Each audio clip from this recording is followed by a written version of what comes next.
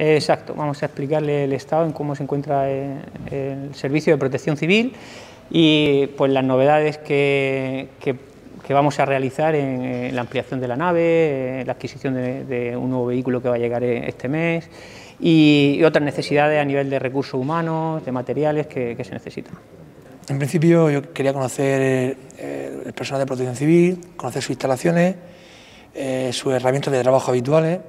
sobre todo conocerlo porque, al igual que estuve con Policía Local, creo que era otro colectivo como de protección civil de los más importantes durante la pandemia. Es decir, durante esta pandemia, ya no solo la pandemia, sino también durante la DANA, eh, eh, han hecho un trabajo formidable por nuestra seguridad. Y, y, luego durante la pandemia ha sido un colectivo que está siempre en la calle, ayudando a los más necesitados